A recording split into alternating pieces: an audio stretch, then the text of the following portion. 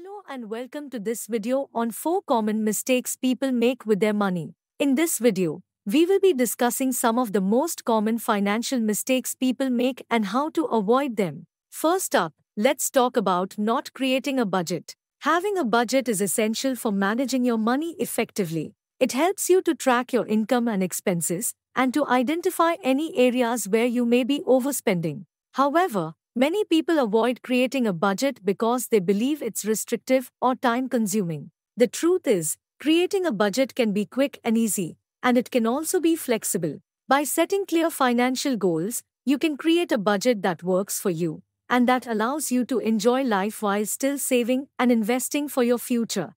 Another common mistake people make is not having an emergency fund. An emergency fund is a savings account set aside for unexpected expenses such as medical bills, car repairs, or job loss. Without an emergency fund, unexpected expenses can quickly spiral into debt. It's important to have at least 3 to 6 months of living expenses saved in an emergency fund. It's also important to not use the funds for non emergency expenses, such as a vacation. Another common mistake is not saving for retirement. Saving for retirement may seem like a long term concern, but the earlier you start, the better your chances of accumulating enough money to retire comfortably. Many people procrastinate on saving for retirement, thinking they'll have time later on. The truth is, time is your biggest asset when saving for retirement. The earlier you start saving, the more time your money has to grow. Not paying off credit card debt is another common mistake.